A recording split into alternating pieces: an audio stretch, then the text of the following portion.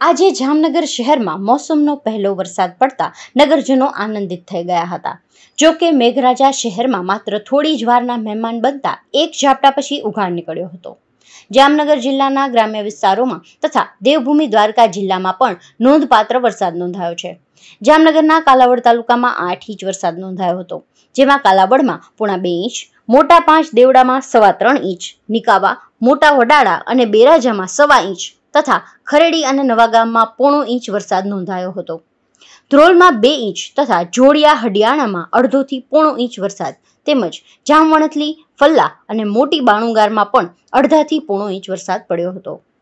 દેવભૂમિ દ્વારકાના ખંભાળિયામાં સાંજે ચારથી છ દરમિયાન માત્ર બે કલાકમાં જ તોફાની ઢબે ચાર ઇંચ વરસાદ પડતા શહેરના માર્ગો નદી સમાન જોવા મળ્યા હતા.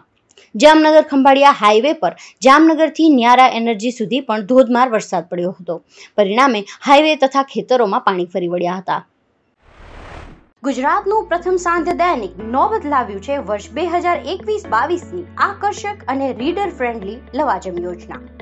એ, બી અને સી ત્રણ યોજનાઓમાં પસંદગીની યોજનાનો લાભ લઈ વર્ષભરના વાંચન સાથે મેળવો બે લકી ડ્રોનો લાભ. અને હા, આ વર્ષે દરેક યોજનામાં એક ગેરંટેડ ગિફ્ટ પણ છે. આને જ કહેવાય સોનામાં સુગંધ.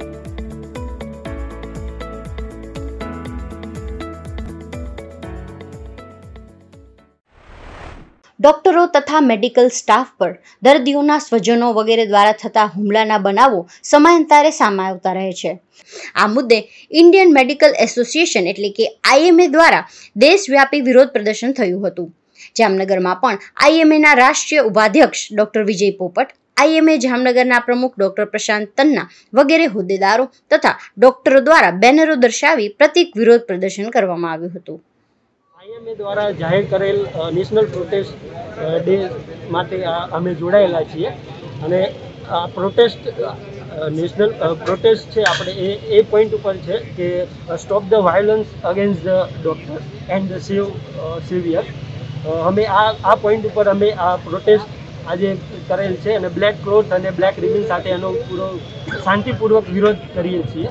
અને અમે અમારી એક ડિમાન્ડ છે કે સેન્ટ્રલ એક્ટ એક હોવો જોઈએ કે જે health against health care violence એ અમારે કોણ કોણ ઉપસ્થિત થયું કાર્યક્રમ? અમે junior doctor association Indian medical association Jamnagar અને ડૉક્ટર્સ સ્ટુડન્ટ એસોસિએશન